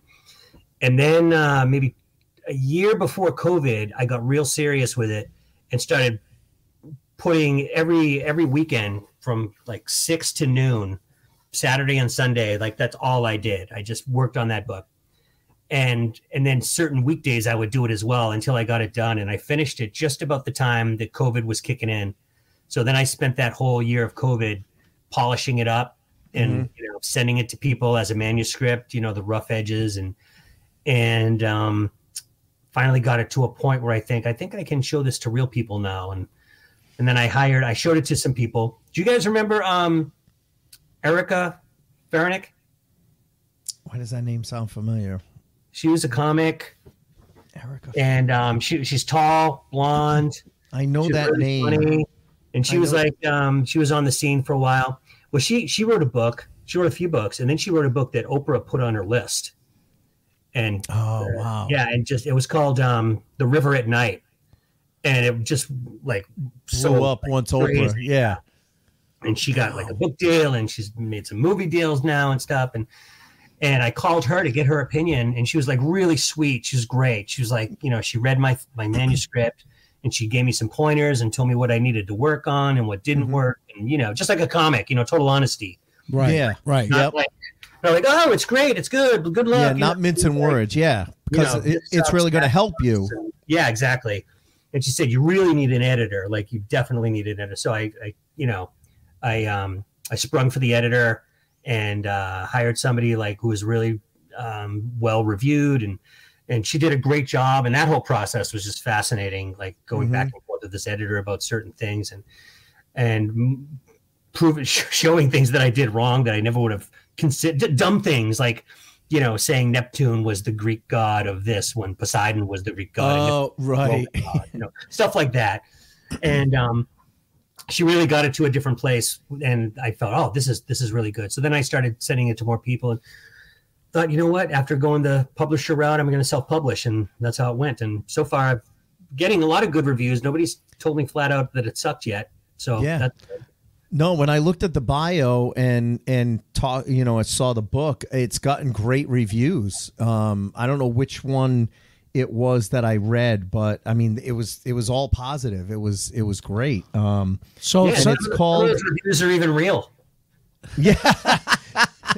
well, listen, just because it's from your sister doesn't mean it's not real. Okay, No, I think Uh, I think the first four were uh, friends. okay. And yeah, then we all yeah, need that. And then I started getting some real ones, Yep. and I started, uh, you know, kind of like not prom- promoting those other ones. Um, I just got back. Do you guys know what Kirkus Reviews is? Uh, that's the one that I read. Yeah, Saw you uh, post about it. That's like a legit review, right? Yeah, that's a real one. They they've been around for almost hundred years. They're like, if you go into the bookstore, go to Barnes and Noble, and look at every third book, and then it'll say on the back, Kirkus Reviews says this. So you Right. basically you pay them, and they'll review your book, but they don't guarantee that it's going to be good. Like that it's going to be a good review, right? yeah like they'll they'll hit you back because I, I did a lot of research on them and you know online there's a lot of people who are pissed off because they paid this money and they got a review back and and then you you got know, a shit review. shit out of the book. So it was a big gamble. Like i didn't know which way it was going to go. I was terrified because at the time you know it took like nine weeks for them to do the review. It's like because i'm only hearing from friends and you don't know what see that's the thing that sucks with comedy. You can go on stage and know you you're doing well. Right. get up and you hear the laughs and you know when i make a video i can hear the crowd responding to the video. I know that. Right. with this i had no clue i right. was like this could totally suck and i'm going to make a fool out of myself and i just had no idea You're not getting that instant feedback that you right used to. yeah Right. so when the kirkus review came in very positive i was like oh thank god okay so now I, I don't have to be afraid. If like if, if I get that, I know. Sure, I'm sure people are. There are going to be people who don't like it. Of course, Of some- course, yeah. But I know. we that- we just I think we told you the guy that came up with this uh, uh you know live from the Acement Mhm. he just actually wrote he co-wrote uh the official Seinfeld cookbook that was just released and we you know of course uh, we're friends with him so I had to make him squirm a little bit I go have you read the reviews and he goes no I don't care I go well let's pull some up and read them and and the Oh, funny yeah. thing, the funny thing is, it just shows the stupidity of the the stupidity of the general public. Like. At some point, you're like, I don't even care that that's a bad review because they must be an idiot. Like the only bad reviews it got, it, it got like two bad reviews, and it wasn't even bad. They I- were all four and five stars. Yeah. But the four stars, the complaint was that the print was too small. Had nothing to do with the the recipes. It had nothing to do with like I made this and it sucked, or it, it had nothing to do with him. It had to do with the friggin' printing that was the you know the editor or the the designer of the book. It's like just so stupid. Who's there gonna pick out out on what? Morons, just total morons. Right. My, Yeah. my, wife, my wife works for a company called um, Equity Estates, and they had it's they basically own a bunch of high end luxury homes around the world, and then people can buy into these homes and stay there. Like they get certain dates throughout the year, so it's like your home that you're staying at, basically. Yep. And there was, I, I wonder if I'm going to get in trouble. Nah, it doesn't matter. So there was one client who stayed in one of these beachfront homes and then complained that they couldn't sleep at night because the ocean was too loud.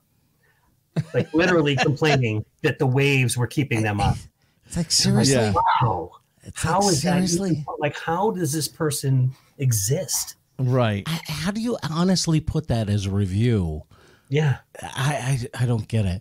So let, let me ask you this: If I'm picking up your book, Yes. and I, you know, I'm in the bookstore, I pick it up. Here? eh, Billionaire Boogeyman. I wanted to get the title out Billionaire, there. and I open it up and I'm reading the inside flap to get an idea of what the book's all about. Mm-hmm. What does it say? Give us a uh, I can just read He's it. going to to read it. He's got it with him. yeah, exactly. When homicide detective Vic Mitchum's fiancee, Kelsey Moss, vanishes while working undercover as a prostitute, the only clue to her disappearance is a paranormal investigator's crazy claim that an elite clandestine society operating a secret museum has been abducting women off the streets of Boston for decades. Forced to bury his skepticism, Mitchum races against the clock as his search pulls him into a web of billionaire moguls, mysterious deaths, political cover ups, and shadow assassins. In this nightmarish world, his lifelong beliefs are turned upside down as he faces dangers he never imagined possible, and only days remain, maybe hours, before Kelsey suffers a horrifying fate. And then in big letters, it says, Monsters exist, there is life after death, and mankind is not alone in the universe. All right, who's playing Mitchum in the movie? is what I want to know. I'd, I, you know, I play around with that. I, I'd like, uh, I'd like Kyle Chandler, the guy who from Friday Night I love Kyle Chandler. Love he has him. like this great because the I tried to make the book kind of realistic. Um, I mean, how can you make something realistic with these type of things? But I did my best to base it in some kind of reality. And he always strikes me as somebody who would scoff at anything paranormal. Well, look at Right. his. Did you ever see the show Bloodline Oh, I on loved it. Netflix? Yeah, yeah, yeah. His character in that would be very similar Exactly, to exactly. Mitchum. Yes, yeah, yeah. Yeah. All right. Good call. Good call. Here's call. the thing because you said your your daughter helps with TikTok videos and stuff. Yeah. Is she good at meta tags for uh for like the internet and stuff? Uh, like the three of us understand meta Yeah, tags. I know. yeah, I don't, I don't know what a meta tag is. Well, the I'm only sorry. reason why I say meta tags is because when I do a Google search of billionaire boogeyman, Boogeyman. everything. Oh, boogeyman. Do you want to know what's funny? You know what comes up for billionaire boogeyman? Even What? when I put book after it, every fucking article is on George Soros. the difference one letter makes. Wow. Holy Wow. shit. Maybe somehow that's what this book is all about. Okay, this one came up. Yeah, that, that came up. it's something. There are George Soros characters who are. It's kind of a double meaning. The similar. billionaire Yeah, yeah. yeah. you know, the pharmaceutical heads and the tobacco heads, all those Yeah. guys are in this club. And, But Right. it I also like- the creatures. I I like that description. That you got me with that. You set Cool. the hook. I do like the sound of that. don't like horror say to me that they, you know, they can't stand horror. They're not big horror fans. That does, that's kind of a kind of a crossover between you know like a thriller, murder mystery, and you bring in the paranormal side of it too. So it, it it's it's not straight up horror. It- you know what I mean? So it's it, it it's got a different aspect to it. Well, I was heavily influenced by uh, Salem's Lot. I loved that book. Yep. Okay. and and the, he really did it. Stephen King did a great job of, you know, basing it. All the characters doubting themselves as to this could really be happening. I love that aspect of it. Yeah, yeah. So I just pulled up the Kirkus review in the last sentence. Well, first of all, one of the last sentences says, uh, blah, blah, readers, um, Parker drops them into a tautly written story that runs full tilt. So you can thank your editor for that, for the tautly part, right? Because it's nice and taut. And then the last one, a tense, action packed tale of snarling teeth, razor sharp claws, and entertaining mayhem. Nice. So you, that's Great. Awesome. That's a thrilled. I'm thrilled. that is a great description. seriously, that's an awesome. And it, again, to to what you said before, Nice save. I saved it. I didn't. I didn't say to your point, but I'll drink anyway. Ah, cheers. cheers. Like it takes much. I know. Um, but what you were saying, but you know, before is is this is a big deal. Getting a a, a Kirk, That's awesome. You know, a Kirkus review that's that positive is fantastic. That's yeah, that's awesome. So thrilled. So thrilled. especially because you self-published like it's one thing to you know to get it on a, a big publishing you know it, it's totally different when it's self-published yeah, it feels good. It feels good. Well, Yeah, like you, s- already, uh, I got to remake the cover with one of those quotes on the top.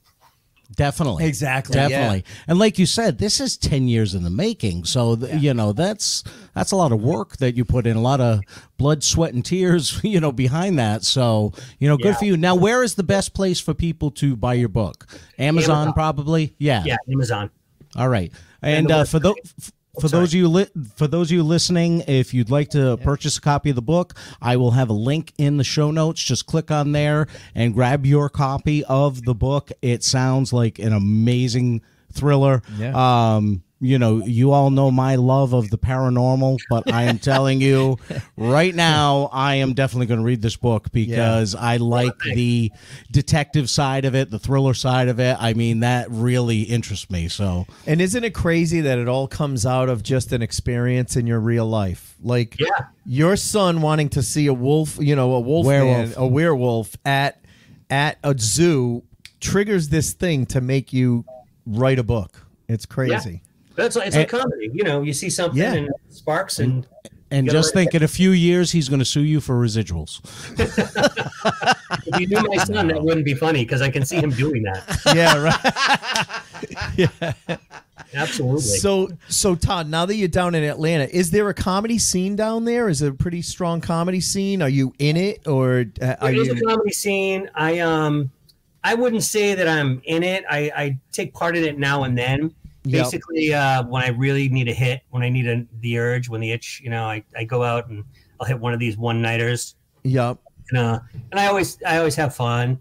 Um, but I'll, I'll tell you a funny story. So, um, Bill Bill Burr, whenever Bill comes through town, he, really cool. And he like has me open up. He throws me up on stage. Yep. And um, but before that happens, I usually have like a month or two notice, and I don't want to be all rusty. So I'll go to one of these course. little mic nights, and I'll you Yep. know try out some new stuff. I don't want to do the same old shit again. So about three months ago, right before the you know Bill's Fenway gig, Yeah. um, he was doing some. He was doing giggles and he was doing Nick's, and I was going to Yep. open up for him and Yeah. giggle. So I wanted to go stretch my legs out, and I go to this place that I'd never been before, and it's it's uh, it's a it's a room with a bunch of fold up chairs, and only comics, like all open micers. There's no audience, like they are the audience. It's Like, just them. Yep. they're all 20 fucking years old and they come in and I'm sitting there by myself and I'm watching them just nostalgic, just like remembering what it was like to be them. And Yeah. they're all thinking they're the funniest things in the world. They're pranking each other, you know, and and I'm just not really, you know, no one's talking to me and that's fine. I'm just taking it all. You're the old guy in the corner of the room. Yeah. exactly. and they're they all start to sit down. They're going to start in like 10 minutes or so and and they're loudly bashing cruise comics. Like just shitting on cruise oh, comics Oh, because yeah. they all think they're going to be like Kevin Hart, like everyone else. Of Oh, yeah. course. You know, yeah. so I saw my opportunity. So I said, "Hey, I you know I've got a friend who's a cruise comic," and one of them turned around and said, "Whatever you say, person nobody knows."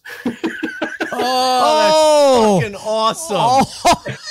Oh. I was like shocked, but at, at the same time, it was hilarious. Right, I right. kinda laughed, and then that was it. So then I went up and I just kind of shit all over them. I didn't Yeah. really practice any bits that I wanted to do. Right. Yeah, you're like, all right, fuck you, assholes. Yeah, it was it, it really talk about being brought down to earth. Like wow. Yeah.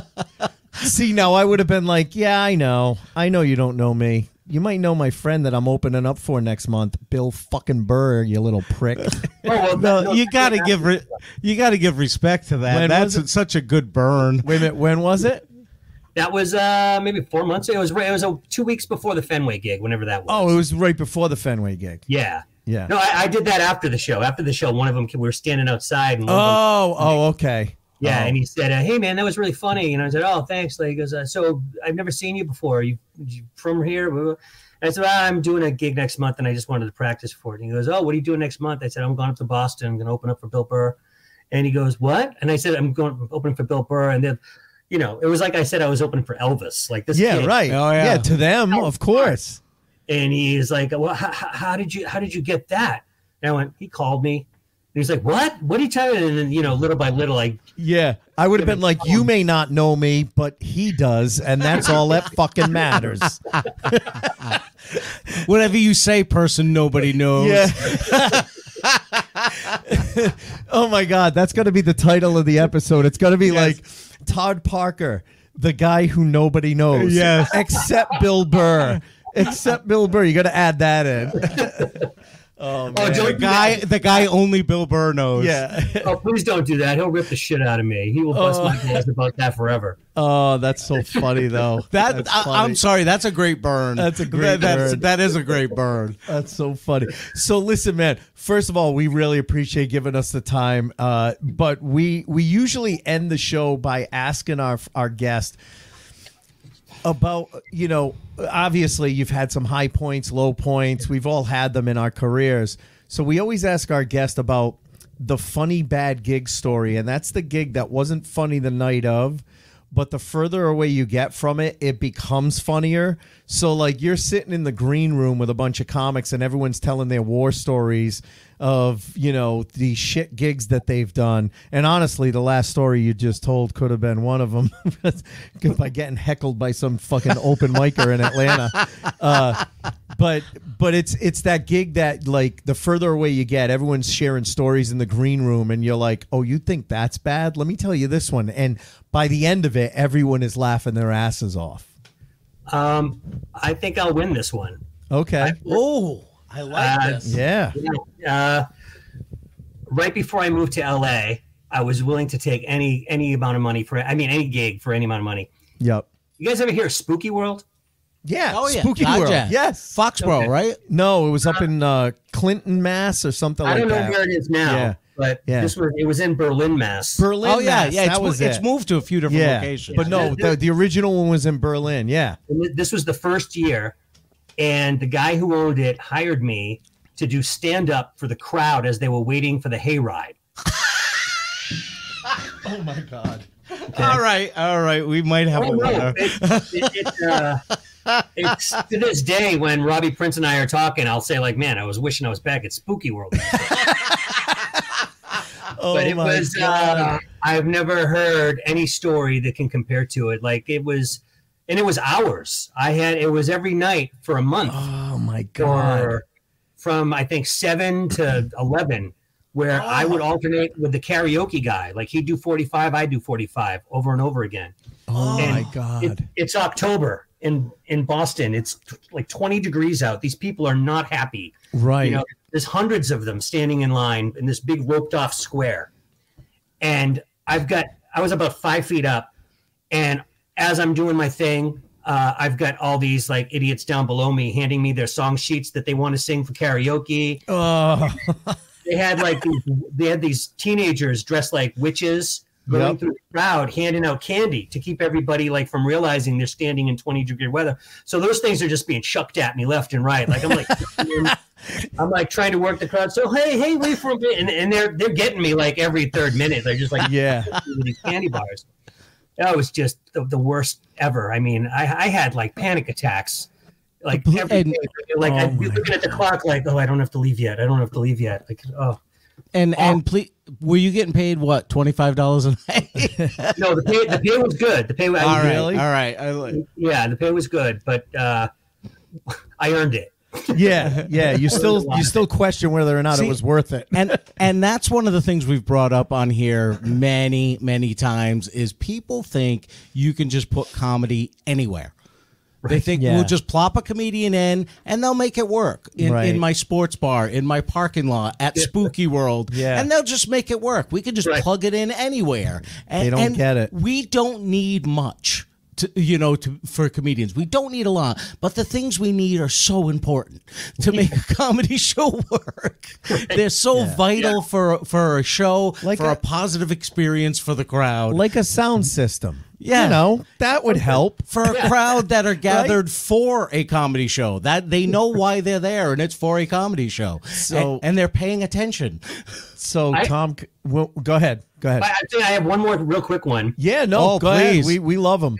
Robbie We're Prince compiling these into a book, by the way. We're gonna compile all of The funny best bad of the gig funny bad gig stories. Robbie Prince and I together had to do a two man show at South Station at lunchtime. Like Billy Downs, I think, booked it. And Of course, he did. yeah, we're on the Brother, I'll book a bus station. It was awful. I mean, no one's even stopping. There was no. Uh, no, like, they're just walking through. around.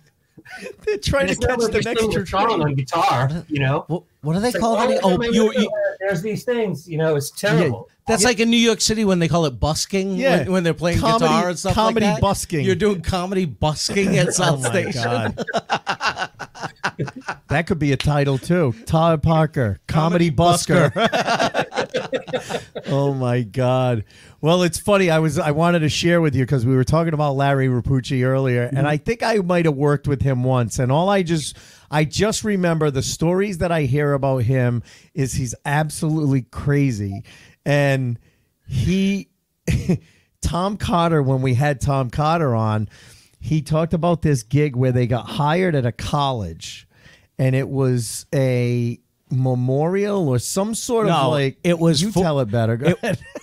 It was for um, Sexual Abuse Awareness Weekend. This is already hilarious. yeah, right. And Yeah. the whole idea of the weekend was to bring up awareness about sexual abuse on college campuses and stuff Right. like that. And it was on a college campus. and people would get up and they would tell their story about a sexual abuse experience or potential one and then they would pin a t-shirt with their name on a board that was on the back side of the stage and so they're they're doing all these stories and stuff and then the comedy show starts.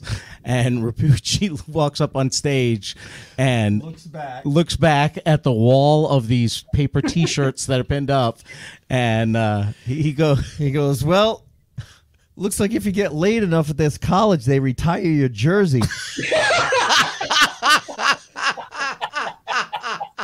and and it was a Catholic university. Yeah, yeah. And the priest walks up and takes the mic out of his hand and goes, "Show over. We're done. We're done." And this is the beginning of the show. This is the beginning of the show. Cotter it was just like, started. Cotter was like, I didn't even get to do a, a set. He goes, I, didn't never walked on stage. he was the first comic. He was the opener. And, and the pre the Monsignor takes the mic out of his hand and goes, That's it, we're done. Show's over.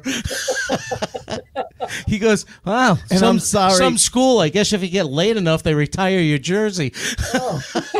and I'm sorry. I know I know in today's climate that shouldn't be funny, but oh. you know as a comic with our dark sense of humor, that's a fucking funny line. I'm It's- sorry. It's a god awful thing It's to horrible. say, but the balls to say it in front of that crowd after they just told these stories is Oh. like the Mount Everest of balls to say something like that. He has the biggest balls of. Oh, any- I, I mean, the expression "I don't give a fuck" is like made for him. He Right. literally does not give a shit about It- anything. It, it, that I don't know if that I don't give a fuck is strong enough. No, yeah, you right. know, for him to walk out and say that. Now, you know, now I've seen you post about him on online because I think mm-hmm. for a while people were wondering if he was still alive, if he, you Yeah. know, what happened. So was it you that kind of tracked him down and found out he is he is I was alive? He just him, but I didn't track him. Somebody else tracked him down. He was in Oh, touch with okay. somebody else. He is he is alive. okay. he's just he's not on social media or anything like that, right? Right. Yeah. Yeah. I mean, he's just there's so many different Larry Rapucci stories that you could go to. He's just he told me once he he he, he was always working as a waiter. That was his primary job most of the time. Yeah. And if he if he didn't like it after a certain amount of time, he would just you know go up to the manager, and the manager he'd say, you know, I. I'm not. This isn't for me. And the manager would say, "Well, thanks for giving me your two weeks notice." And you go, "I'm giving you two two minutes notice." Walk out. Just leave He would just you leave. would say things to people that you don't say. that- Forget nowadays. I mean, Even back then. he once was told a waitress that if she, she was bugging him about something, and she was going out with the owner, and he went up to the owner and said, uh, "Can we talk about your girlfriend?" And he said, "What's what's the matter?" And he said, uh, "She's busting my balls, and if she doesn't stop, I'm going to stab her in the chest and fuck the wound." Oh And in, in his head, he's thinking that the manager's going to go, "I'll talk to her," you know. Yeah, you're Yeah, right. right, You're yeah. right. Oh my like, god. like, oh, I'm sorry that's happening. I'll handle that right yeah, away. me, oh, I, I'm so sorry, Larry. Let me go talk to her now. Yeah. Can I talk to HR, please? She's getting on my nerves. Oh my god, That's so awesome. the intros he would give when he was hosting. Oh Jesus! He. Do you guys remember Nancy Monroe? Yeah, Yes. I remember Nancy. Yeah, she was married to Ken Rogerson for a while. Yeah, yeah, yeah. Yeah, She's passed away, unfortunately. She was just an awesome person. It's, it's Yeah. so funny. And one time we were talking about who, you know, who do you like bringing you up? Who brings you up the best, the worst? And she said Larry Rapucci once brought me up as saying, "This next comedian is a girl, which is good because I'd rather eat pussy than suck cock." Nancy Monroe.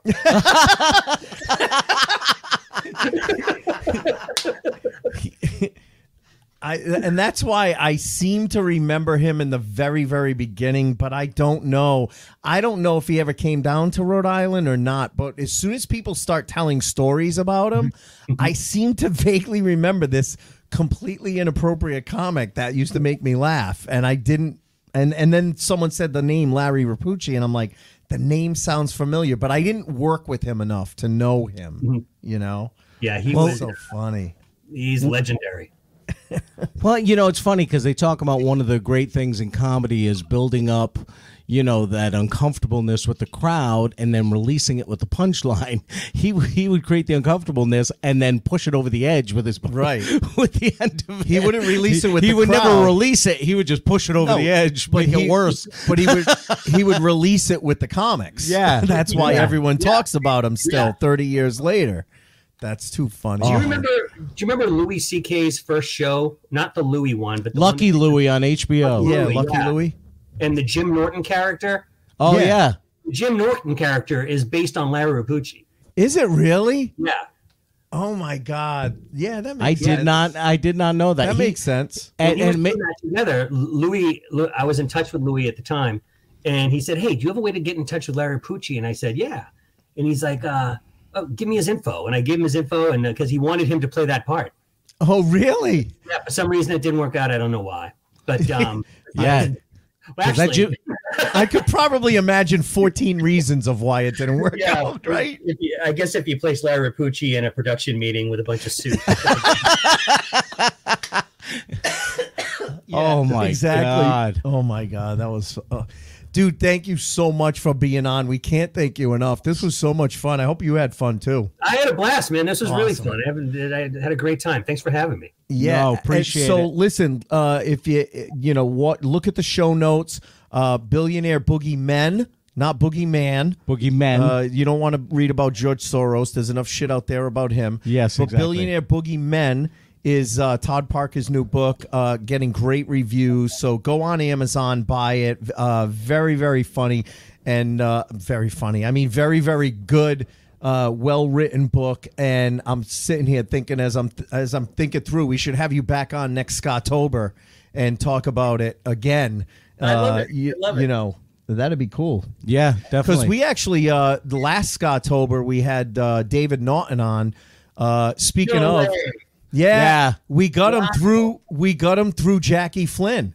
We had Yeah. Jackie Flynn on, and this guy David Naughton reaches out to me on Facebook and goes, "Hey, I'm a friend of La- uh, you know of uh, of Jackie Flynn's. I saw he's going to be on your podcast. I can't wait to watch." And I'm I'm going why does this name sound so familiar? And then I look up his picture and I'm like, he even looks familiar. And then I look at his like other pictures and I'm like, it's the fucking guy from American Werewolf in London. Holy shit. Yeah. And hot do- honestly, when we had him on, we thought it was going to be all about American Werewolf in London. We talked more about Hot Dog the movie because we were both 13 year old boys when that came out. I told him I ruined many gym socks because of Oh that my god! movie. and Hot, him. skiing and and naked women in hot tubs was that whole movie. It was so But funny. he was such a great guest. Yeah, he was and told us some awesome stories. Oh, he must have a ton of stories. Yeah. oh, and, and he was very open and very cordial, Yeah. and he, he was so good. He and was he's so uh, good. he's actually not far from me. He's well, not far. He's in North Carolina. Oh, really? Um, yeah, Yeah. yeah, He lives in North Carolina now. So, but uh, but yeah, no, we'll we'll definitely we'll love to have you on. By then, uh, maybe you're working on your second book. By then, You never maybe. know. you never know. So, well, listen, man. Thanks so much for being on, Todd. We really appreciate Appreciate it. It was great. Had a, and- had a great time. Thanks. Thank you, A- Todd. Anytime you want to reminisce, let us know. Will. Maybe you can get uh, uh, Larry on, and you Oh guys my can come on as a tandem. Oh, yeah. Track down Larry Rapucci. I think. I think if that. you want to do a solid episode of Larry Pucci or Noxie, let me know. I, I'm All in. right. Absolutely. We're, yeah. yeah. we've been talking about the Noxie one for a while, so that would be we would definitely get a bunch of different people to tell their Noxie stories, and you're in if we ever put that together. Please do. Please. I've got a Yeah, fun. yeah. Please. That'd be awesome. All right, man. Hey, thanks so much, Todd. We really appreciate it. Nighty night, guys. All right. See you, man. and that was Todd Parker. That was awesome.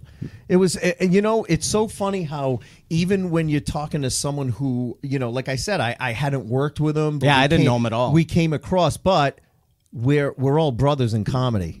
Like we know felt- so many of the so same totally people comfortable. came Yeah. up in the same scene so we have we even though like you said we don't know each other directly Yeah. we we feel like we know each other because we all went through the similar same experiences things. came up through the same area and you know even though i started a decade or more after you After, guys yeah. i still worked with all these guys i still worked at a lot of these clubs i know all these people so you know it, it man what I, I love listening to those Yeah. old stories But I love the fact that, you know, we talk about what's behind the funny and the fact that he wrote a book that has nothing to do with comedy, but it's an artistic outlet. Like we said, artistic people want different outlets. So one outlet is comedy, one outlet is writing, one outlet is art. I didn't know he taught art. you can kind of follow the path from comedy to the writing that he's doing like Mm-hmm. he said some scripts and stuff like that then he's using his comedy background on the videos that he was doing and stuff yeah. and it just follows this path that leads up to this book that that he put together exactly. so it makes sense it was- it makes sense so it was a, it was a great great night and I, I really enjoyed getting to know him and we hope you guys enjoyed it as well. So and, and again, if you're into to uh, you know,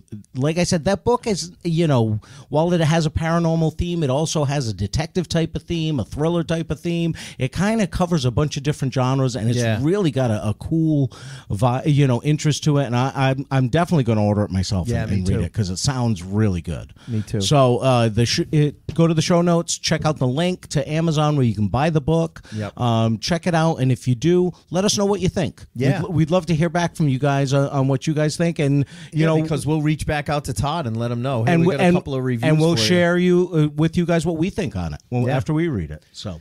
So listen, folks, we know it, it was said at the beginning of the episode, but we really appreciate uh, you know you guys listening. Anyone who watches, uh, we've got next week coming up is the long-awaited mixtape podcast I double can't wait. episode. I can't wait We've been that one. talking with these guys, and we've become fans of theirs, and they've become fans of ours because I was going back and forth with Matt, uh, and he was saying, uh, "Oh man, I love this episode. I love that episode." So it's going to be a lot of fun. It's going to be a crossover episode. We're going to talk to those guys about how they started their podcast and how they, uh, you know, kind of got together.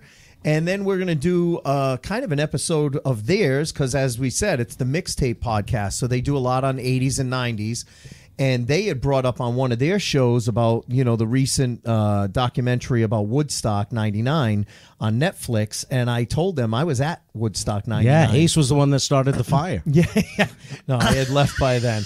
But uh but I uh I, I definitely um you know remember some pretty amazing wacky shit that happened there. Yeah. Even though we left early. My ex and I left early, but It's going to So be, fun. be fun. It's going to be a lot of fun with those guys. So- Something, something a little different, but you know, still, uh, you know, behind the funny. So Yeah. you know, we're gonna we're really going to enjoy doing that one. So check that out next Yep. week. Don't forget, we still have the contest going. Give us that five star written review. You can win a copy of the Seinfeld Cookbook signed by one of the authors and a behind the funny T-shirt. So don't forget that. We have some entries. We want some more so we can make sure that we have plenty of people to pull a name out of the hat so that we can send that to you uh, by the end of next month. So, and uh, other than that, we will talk to you next week.